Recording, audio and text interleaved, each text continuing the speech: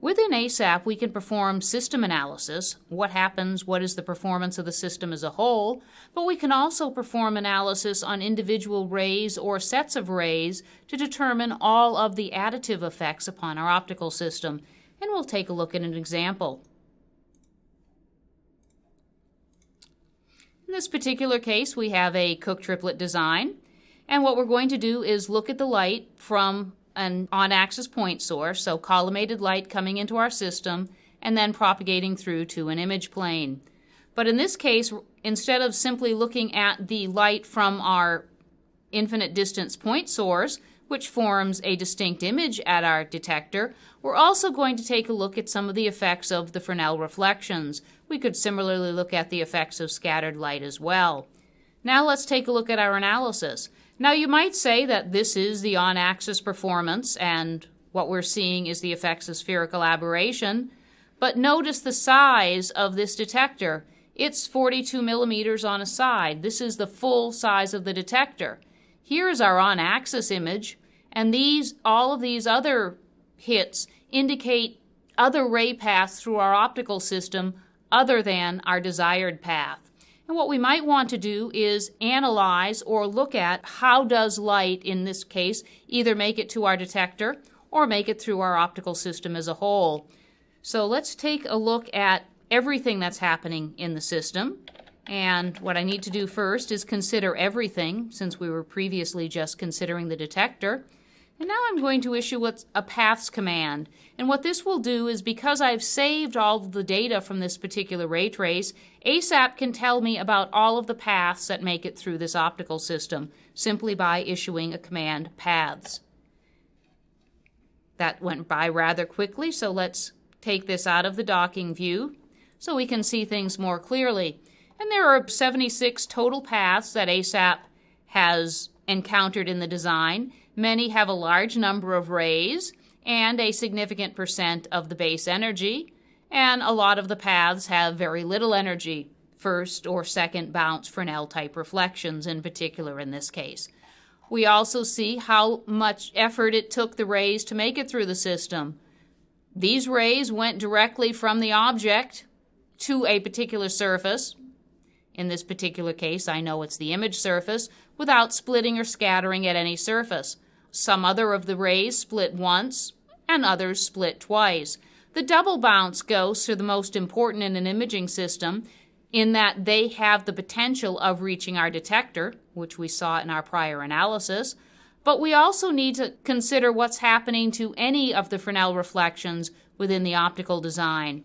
Now, in particular, I might not be interested right now in some of these very low energy paths, so let's say, for example, I only was interested in any ray path that had, say, more than 1% of the energy. I'm going to issue another paths command, but this time I'm going to put 0.99. What this says is any ray path that has more than 1 or more percent of the energy, tell me about. And let me hit the Enter key. And these are the ray paths. And most of the ray paths from ray path 1 up to Raypath 12, with a couple of exceptions, in particular, for instance, Raypath 5 is not there, has more than 1% of the energy. And we can see the number of rays, and we can see that they're all, in this particular case, either the direct path or single bounce or single Fresnel reflections. We can also look at each of these paths directly. And let me put this back into docking view so we can see our window here. And we do this by selecting the paths of interest and asking ASAP to give us the graphical information.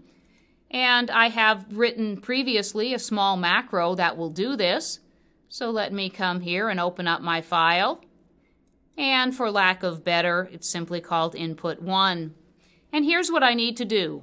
I need to select a ray path. I'm going to do a vector rewind command to get rid of any currently stored data.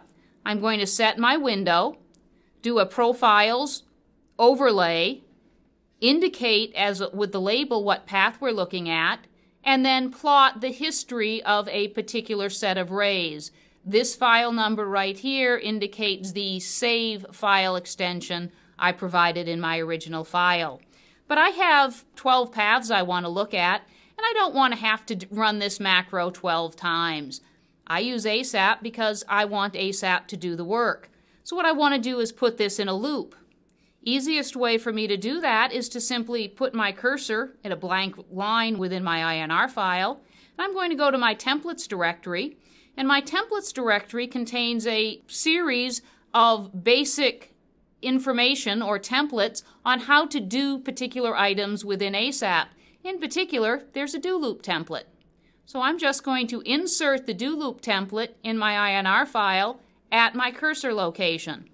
And this tells me how to set up a do loop in ASAP.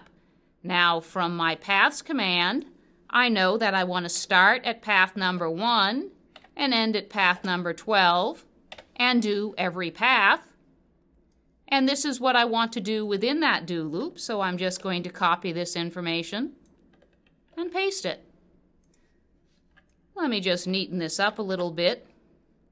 And then I want to comment out this information because we don't want to perform it again at the end of the do loop. The only difference is that I don't want to always print information about path 6. I want to use the wildcard to indicate exactly which step of my do loop I'm in. And within ASAP, that's simply the question mark. So each time ASAP goes through this, it will select the path identified within the do loop and then print that information on my profile. Careful now, don't end ASAP. We're going to work on currently saved data, so I just need to run this file. And there's my basic ray path, my imaging ray path. And now here are the other paths that had significant energy. And in terms of decreasing energy, it shouldn't be surprising to see that it goes in the order of Fresnel reflections off each surface, because obviously as we go from surface to surface, energy was lost on the previous surfaces by two Fresnel reflections, so as we go through, each subsequent set of rays will have slightly less energy. We're also going to get some second order effects, some scattering effects. We could have scattering effects, although we didn't include that in this particular design. And when we're done, we'll take a look at a couple of files in particular, or a couple of profiles in particular. Okay, so now we've gone through the process. And again, path number one was our direct image. And we got information about the energy in that path by looking at our history commands. Um, now, reflections off the sur first surface and the second surface, the third surface. What's interesting to note is that this energy is converging, but it's not forming a focus within our optical system. And from the fourth surface and the fifth surface, starting to get a little bit cluttered in there, but nothing to frighten us yet. But now let's take a look at this particular path. In this case, what we see is our Fresnel reflection off this surface is forming a significant image within the optical system. Now, if this is a photographic objective and I'm just taking pictures of the Tucson scenery, this probably isn't a problem. If this is being used in a high-powered laser design and I have concentrated energy in this region, it could pose a problem. This is again one of the reasons you'll need to do an analysis within ASAP. And again, that's the basic paths that we have available to us. And of course, once we see where our possibly our internal reflections are and see if we have problems with those, the other thing we're concerned with is how did we get so much energy on our detector in the first place? So another piece of analysis we can do is let's consider the detector and all of the possible ways that energy made it to the detector. The first thing I need to do is select all of my rays back. Because of those previous path commands, we're not looking at everything. Now we are. Now let's just consider our detector. And now I'm going to issue another paths command. This paths command will only consider those ray paths that made it to the detector. And again, I'm going to undock my command output window so we can see what's happening. And we can see that 97% of the total energy in all of these paths makes it to the detector. We don't have all of the energy. The energy that went in the paths that did not make it to the detector is not included in this analysis. And what we see is we have a total of 18 paths, but of course, once we get much below path number 10, there's very little energy left. And again, we can see that all of these are either the direct path or second Fresnel bounces. First Fresnel bounces, first order bounces, can't make it to our detector. So let's go back into the docking view. Let's run our macro one more time, but before we do that, let's make sure we consider all of our geometry again instead of simply the detector. And I do that by issuing a consider all command. And now I'm going to put my cursor in my macro and run the file one more time. Now let's take a look at the results.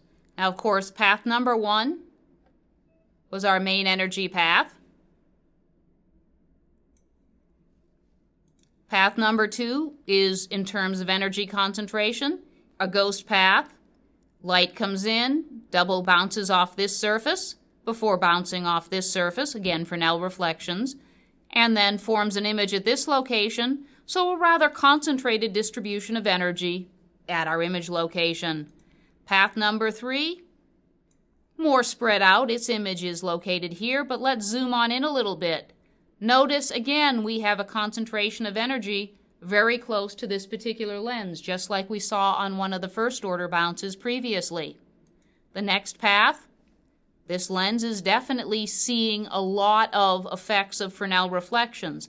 With a high power source in our system, this could cause a problem. Same with this path. Not much of a problem on the detector, but we do have an energy concentration that we might need to concern ourselves with.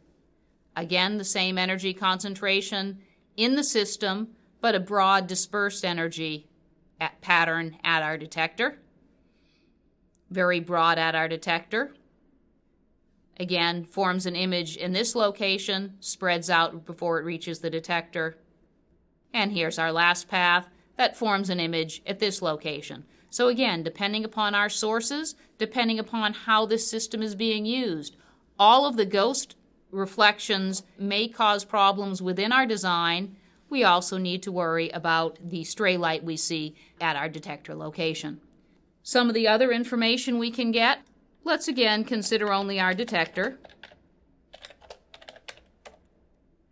And now I'm going to do the paths command. And in this particular case, we're looking at path number one. And I can choose to look at the history of any or all of these rays. And let me just issue a history command. More information than we need, but we can select any particular ray and look at it. I could have also selected any one particular ray as well. And here's my data. Let's scroll this up a little bit. So what we see is the information about one particular ray. It starts at the object, and we see where it goes through the system. To object 1, to object 2, the front and back surface of the first lens, to the second lens, to the first surface of the third lens, where it then Fresnel reflects back to the second lens, where it Fresnel reflects back through the third lens, and then back to the object, and as the ray propagates, we can get its x and y coordinates, its z location, as well as the energy in the ray.